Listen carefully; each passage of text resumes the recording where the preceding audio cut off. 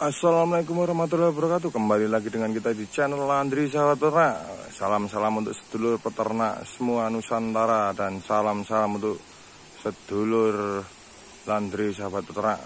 Oke, kali ini saya berada di daerah mana? Pekalongan, saya di Pekalongan di Batang lagi nih Setelah vakum selama satu bulan di Jakarta ya. Nah, kita akan korek-korek coba nanti lihat ini kandang baru konstruksinya seperti apa, e, bangunannya bagaimana, panjang lebarnya berapa, populasinya berapa nanti akan kita lihat. Ini ayam baru cikin pulet kemarin 6 hari yang lalu, umur 13 minggu ya. Oke, kita masuk kandangnya. Ini gerbangnya. Nah. Assalamualaikum, Mbak. Oke kita lihat dari bagian sini. Hmm. Sebelumnya tadi saya sudah tanya-tanya dulu ya. Jadi untuk panjang kandang sendiri dia 20 meter. Panjang kandang 20 meter. Tinggi tiang ini 2 meter 20 cm. Tinggi tiang per tiang.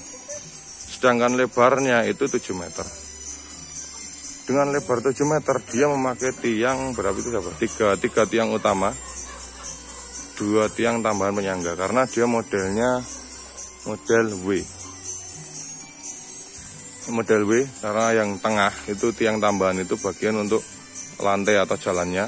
Yang tiang utamanya untuk cornya itu karena untuk caka utama kapasitas sebenarnya dia 1500 tapi karena uh, biaya jadi uh, pes dia cuma diisi kapasitas 1000 ekor gitu. untuk uh, kandangnya sendiri bahan kayu kayu sengon kayu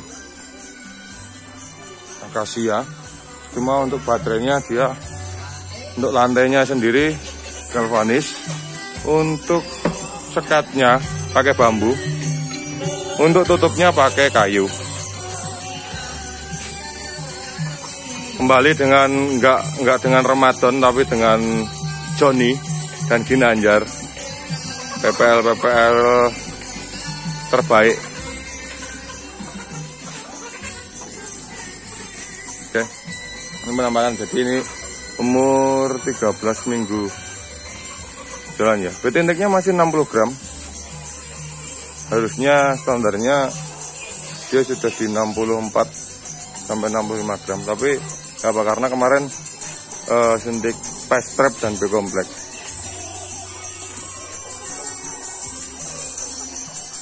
Kemarin sendiri ayam ini timbangan itu rataan bobotnya 109 ya jadi sebenarnya ini kapasitas 1500 karena cuma cuma diisi 1000 jadi harusnya ini baterai. Baterai ukuran 40 cm ini ini harusnya diisi dua. Nah karena populasinya turun 500 ekor jadi baterainya diisi satu. Hmm. emang nah untuk periode depan mungkin kan karena depan pengen pengen cepat ngisi tapi kurang uangnya sih ya ini. Itu cukup bagus. Ada beberapa yang isi dua. Tapi ini rata-rata isi satu ya. Hmm. cukup bagus. Rataan uniform itu pada saat datang itu ya 88% cukup bagus sih menurut saya. Pakan pakai konsentrat grower punyanya produknya Java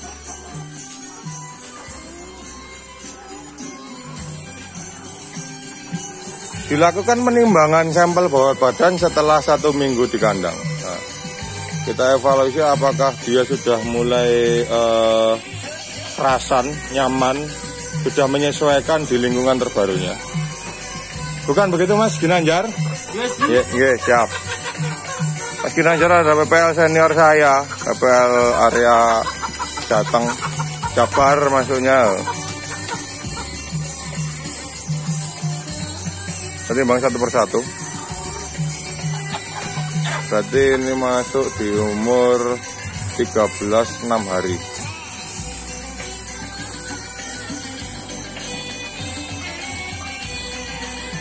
Nah, 155 Wah, kecil. 155 tapi masih masuk sekilo up ya lumayan. Udah lumayan. Ini minum masih pakai vitamin ya. Biomas tadi mereknya bukan merek mereknya biomas. Tandon utama ada di bagian belakang. Tandon utama. Untuk instalasi airnya di sini instalasi airnya. Uh, airnya sumber airnya kita tanya sumber airnya dari mana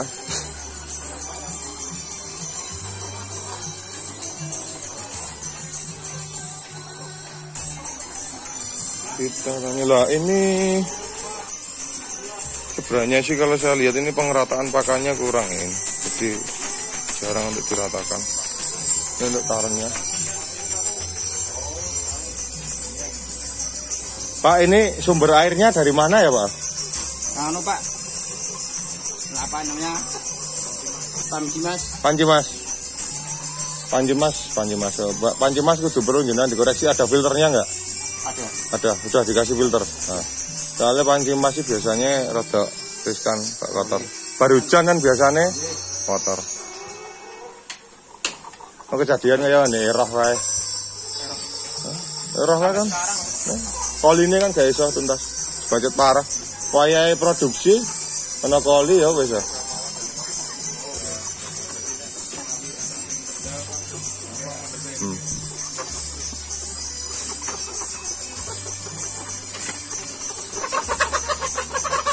Meski nanjar tertib, corona social distancing dia pakai masker mantap. Oh ini yang ada yang isi dua.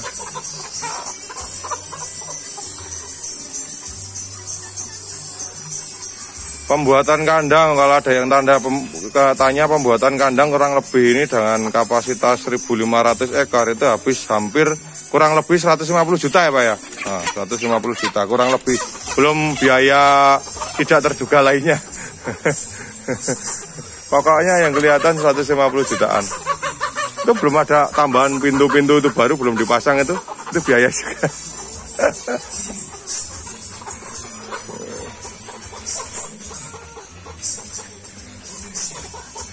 ini mau dibuat kolam untuk gazebo mungkin. Kira mas Ginanjar. Satu satu tiga mantap satu satu tiga mantap.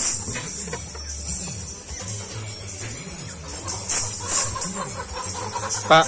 Jenengan menawi pengen lebih aman tau Pak? Ben buatan pengen banjir tau jenengan ini dipaske. Mamane kan tinggal nutup. Niki mamane nutup nutup niki rapatnya sepiro toh jenengan? Lah digaris toh pak. Niki digaris toh lah digaris. Lah jenengan kayak bolongan di antara tengah-tengah ini nih. Misal segini toh dibolongi kan pak. Jadi pada saat jenengan buka ngarep lali rat ditutup orang banjir nampakan. Nah gitu loh kayak bolongan loro misal kanan kiri apa telu nih kan? Mamane jenengan pengen batas sak meniki separuh. Punjul sidik lah jenengan mereka dibolongi. Pada saat lupa orang kebanjiran. Karena emang anggar jenengan lari kebanjiran makan. Wis pernah? Mohon Pak. nah ini ke mana ini kan biasa di gawe standar jenengan bariki terus diukur misalkan digeret nama pripun ta niki sakmene berarti nggih nancepe kudu sagertan niku lah niki pas bolongan penak Pak di sebenarnya sih kan aku ngarani jenengan pembuangan ini kecil kan Bu. tapi ya apa-apa sih Oker pendek sih kan. Yang penting dorongnya ora cepet-cepet lah.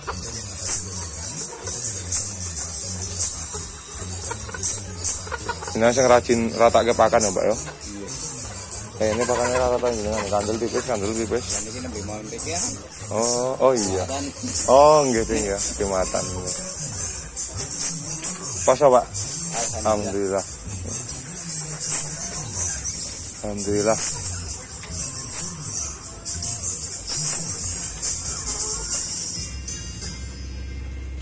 Tandon, tandon, tandon. Eh berarti panci mas nih itu jenengan jupuk jalurnya sih mereka pak. Iku nggih dilaran Pak. Oh berarti jenengan ngulur pipa nih. Oh nggih mriki. Oh. Sing niku wau nggih. Nggih. Berarti lewatin dresep mriki, desa mriki. Oh. Kabel mawon kur 115 meter. 115 meter. Ya, lumayan Pak 115 meter. Narik kabel Niku jenengan berarti saka tandon nang omah nggih. Oh, berarti nang tandon nang omah jenengan wis disaring dhisik. Nembe dileboyo mriki. Nang kene saring meneh. Wah, tes. Ayo, Pak. Setidaknya ya, ana saringan apa tampungan ulang-ulang itu kan lebih resik. Ya, ya. Ya ini erah niku kan talun niku kan langsung to, Pak. Jadi bar ndalae pas udan deres. Lah, dhek gak paham bahwa sing dombekke banyune bukat ta, Pak. Setelah 2 3 minggu kutuke cekrek kabeh. Beler cekrek meler-meler niku to. Meler-meler ndalae kematian rada dhuwur. Dibedah poline teng ati niku wis atine niku wis kaya kebungkus ana kejune, Pak. Lah saya produksi. Nah, produksinya mundur karena kan ovariume sing arep dienggo metu ndok-ndok kuwi wis kena kali, Pak. Wah, susah. Gara-gara banyu. Mane rada riskan ya banyu. Susah. Yang kali sih soalnya ngobatin angel, Pak. Buang-buang waktu sama buang-buang duit koli itu. Susahnya itu. Mane Jangan hati-hati sregep, rajin semprot, Pak. Semprot desinfektan paling tidak jenengan ya digawe jadwal misalnya kan seminggu dua kali minimal. Seminggu dua kali misal jenengan oh saya nyemprot setiap hari Senin sama sa- setiap hari jam eh, apa Kamis apa Jumat apa apa kan. Nah, konsisten seperti itu. Tapi nanti ini kan mamanya saat ini tuh bahas bot, sak, sak botol sing desgreen. Besok beli itu beda. Jangan desgreen lagi. Misal sing jenenge merite beda. Nah, jadi di rolling ben ora resisten.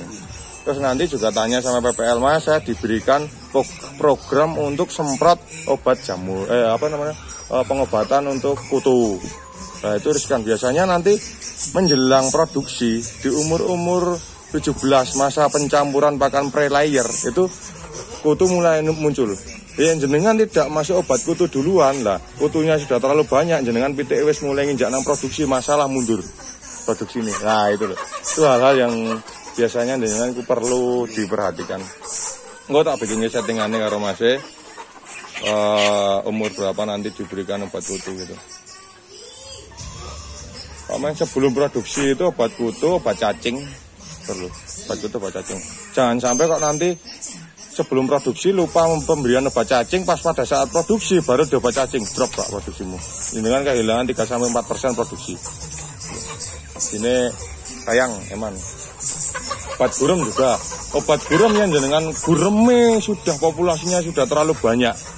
Dia harus butuh pengobatan lewat oral diminum ke, ya kan? Yang gur sidik sidik kan cukup dia lewat min, eh, lewat semprot. Tapi kalau sudah populasinya sangat mengganggu ayamnya, dia harus lewat oral minum. Lah kalau oral minum itu juga berpengaruh ke produksi, paling beberapa hari. 2 sampai 3 persen produksi selama tiga hari lah paling dua hari tiga hari karena titiknya dia akan turun. Tapi yang jenengan cek caranya ngecek gurem gampang pak. Jenengan mau tahu diajari. Nah, jenengan pegang bagian bawah ayam. Nah, bawah ayam gini, gitu. Dada, cabut setunggal bulu. Terus, ya kan? Diterawang. Nah, ketinggal, nah, diterawang. Ini kan bersih tuh pak. Yes. Yang niki anten gureme lah bagian sini nih, bagian sini batang-batang bintik-bintik. Jadi kaya ana tumone Nah, itu gurem. Nah, gitu tuh. Yo nang kene iki nganti wakeh, Pak. Berarti wis perlu sampai oral karena itu sangat mengganggu ayamnya gitu loh. Besok nanti brodol Pak yang di tangan itu entas ayamnya. Nah, jenengan paling ngecek ya seminggu pisan kan dicek greme, greme. Biasanya kandang ba- baterai kayu bambu ini kendalanya dia guremnya lebih cepat berkembang biak. Tapi jenengan lebih menang amannya karena eh flat bawah itu jenengan masih pakai galvanis. Karena biasanya kalau dia nggak pakai galvanis, pakainya bambu, dia populasi gulem akan lebih cepat berkembang. Karena apalagi di kondisi lem- kelembaban tinggi. Tidak ada contohnya. Karena apa? Di slat bambu, kotoran ayam tidak akan langsung turun. Sebelum dia kena kaki atau sebelum kena bulu. Pada saat dia kena bulu, bulunya akan lembab, lembab dan bau. Bakterinya banyak. Lah di situlah timbul banyak percepatan populasi gurem gitu loh. Wis ana Pak, kandang ya customer iki. Gurem gak iso tuntas, Pak. Karena dia bawahnya pakai sletnya bambu terlalu apa rapat, terlalu rapat. Bambunya terlalu lebar, oh. Jadi space-nya itu terlalu rapat. gurem ya pak luar biasa saiki ya tak treatment minum oral semprot tiga kali. Resik pak tuntas. Selang dua minggu tiga minggu ada lagi pak. Eh itu susah. Gue susah penangannya gitu. Tapi aman lah ini juga dengan pemilihannya apa pak. Biasanya rata-rata yang di bawah uh, galvanis terus di sini biasanya dia tetap kayu lah nah ini dengan bambu. Apain bambu kan dia tidak menyerap basah dia lebih kering daripada kayu nah ini kan yang sering basah kan ini sama ini dah nah ini jangan lebih oke okay, keringnya aman harusnya tapi bukan berarti dengan seperti ini jenengan tidak ada treatment gurem loh tidak loh treatment gurem tetap harus ada harus ada Tapi sirkulasi udaranya kayaknya kayaknya apa ya Pak? Seger ya? Gak perlu paranet lah sebetulnya. Cuma paling itu loh Pak. Mohon maaf. Pisang. Daun pisang, daunnya ya. Nah, daunnya rasa dibrok kayak gitu gak masalah Pak. Daunnya sing mepet kene yeah. dengan potong wae. Jadi yang sing merono gak apa-apa. Yang pisang sebenarnya nggak terlalu mengganggu pada saat dia populasinya tidak terlalu banyak. Enggur jejer ini tok iso ana selone gak apa. Sing penting godhongnya aja cerak nang pitik ben apa banyune ra muncrat. Ngono tak sih. Tapi telek es iku dene yen konstruksi lemahnya kayaknya apa jenengan lemahnya rata rata apa sini rata ngembun banget ya pak? Ngembus pak jadi pak. Ngembus. Tapi tak suka nih kok gadong Rodo kandel nih ngembes ya tapi yang nonton pertama nih minggu pertama biasanya ngembes poli. Oh, biasanya kan lho Pak telaknya langsung terus loh niki kan rada garing karena gerajane kan terus ya. Bukan gue so garing Pak. Tapi rawan banjir kan oh ya rawan banjir ya aman. Dan rawan banjir ini berat. Dan ini termasuknya garing kan ya yang jenengan pengen luwe awet misalnya pengen awet apa? Jenengan modal EM4 E4 ngertos so? probiotik no? E4 sing peternakan sing warna coklat. Itu kan harganya kalau nggak salah cuma 17 ribu loh nah itu dipakai untuk nyemprot ini pak. Satu tank dengan 20 liter atau 17 liter. Kasih wae 15 tutup atau 10 tutup lah untuk nyemprot E4 bertujuan untuk e, membantu memproses e, apa sih penguraian telek jadi ini dia biar nggak terlalu bau kadang-kadang kan meskipun dia kering kan tetap bau tuh itu mengurangi tingkat bau jadi ini jenengan nganti kayak piramid kayak sih aman gitu. Ana nang peternak nih Pak Tarno. Berarti Pak Tarno berarti kan ya. Berarti polsek kan lurus lono. Polsek nika lurus lono, pinggir dalan sandek pam. Ah, ah, niku kan ana pam Pak Tarno. Lah niku kan yen jenengan pernah mlebu rono. Lah niku garing limbing nah. Nah. Dan niku kan melu nih Saputra ya kan. Full niku. Kami melu full garing luminglan niku ya semprot jenengan pernah dolan rono malah penak Pak kenal jenengan kenal karo Pak Tarno Rodo ya wis dolan-dolan rono Pak belajar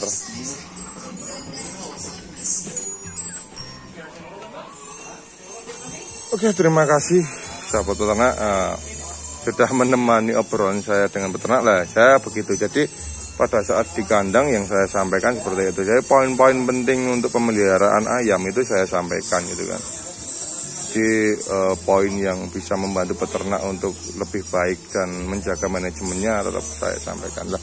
Cukup sekian dari saya, ada kurang lebihnya saya mohon maaf apabila ada koreksi dari teman-teman semua, dari guru-guru saya, dari senior-senior saya.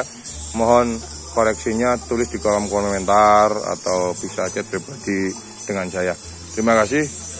Wassalamualaikum warahmatullahi wabarakatuh. Salam sukses untuk peternak Nusantara.